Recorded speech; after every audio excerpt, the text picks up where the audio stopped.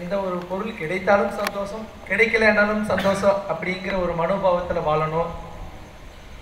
அப்படி இருக்கிற போது முக்திங்கிற ஒரு நிலைமையை எப்படி நாம் அடைய முடியும்? இந்த ஆத்மா இறந்ததுக்கு அப்புறம் என்ன ஆகுங்கிறது நான் தெரிஞ்சுக்கணும்னு ஆசைப்படுறேன் உங்க வாயில் அனுபவிச்சு பார்த்துடலாமா?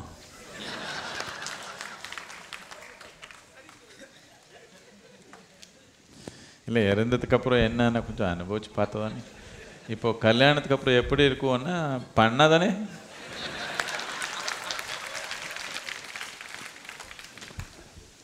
You are the butt of everything today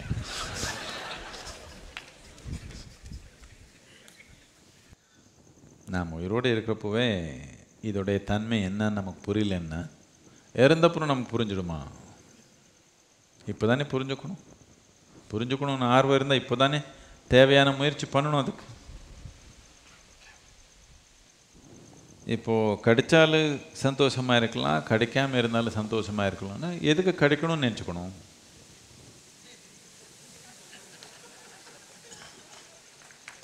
இல்லை விளையாட போகிறோம் ஆ ஜெயிச்சாலும் பரவாயில்ல தோல்னாலும் பரவாயில்ல ஒன்றும் இல்லை. நம்ம இந்தியா டீம் இப்படி போக சொல்லாமா? போக சொல்லலாமா ஆ? இப்படி போக சொல்லலாமா இப்போ எங்கேயோ போக போகிறாங்கன்னு நினைக்கிறேன். ஆ பரவாயில்ல நீங்கள் ஜெயிச்சால் பரவாயில்ல ஜெயிச்சலன்ற நான் பரவாயில்லையா கேட்குறேன் இந்த மாதிரி தத்துவம் தோல்வி போன ஆள் இந்த மாதிரி தத்துவங்கள் உருவாக்குறாங்க. வாழ்க்கையில் எப்பவுமே தோல்வியில் இருக்கிற ஆள் தத்துவம் வேணும் தானே அவரை தோல்விக்கு இல்லைன்னு எப்படி தாங்கிக்க முடியும்? வெற்றின்றது மனிதனுக்கு முக்கியமானதா இல்லையா? முக்கியமானதா இல்லையா? நீங்கள் இப்போ என்ன சொல்கிறீங்களோ அப்படின்னு நான் ஆசீர்வாதம் பண்ணிடுவேன். முக்கியமானதா இல்லையா? ஆ. அப்படின்னா தோல்னால பரவாயில்ல நான். அப்படின்னா உங்களுக்கு விளையாட்டுன்னு என்னன்னே புரியல. வாழ்க்கை என்னன்னே புரியல. விளையாடணுன்னா ரொம்ப தீவிரமான ஆர்வம் வேணும். நான் ஜெயிக்கணும். அதுக்கு மேலே தோல்வி போயிட்டான். அப்படின்னு என்ன அர்த்தம்? என்னென்ன செய்ய முடியுமோ எல்லாமே செஞ்சாச்சு. அப்படி தோல்விட்டான். அதனால ஒன்றும் பாதிப்பு இல்லை. என்னத்துக்குன்னா எப்போ முழுமையாக விளையாடுறீங்களோ விளையாட்டுலேயே பெரிய ஆனந்தம் இருக்குது.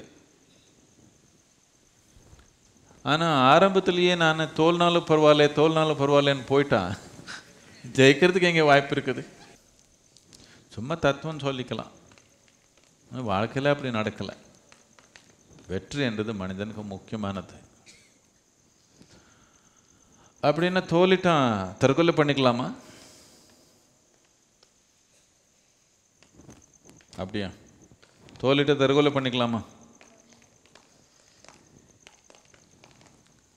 வெற்றி தோல்வின்றது நான் முதல்ல நிர்ணயிக்கக்கூடாது விளையாட்டுக்கு.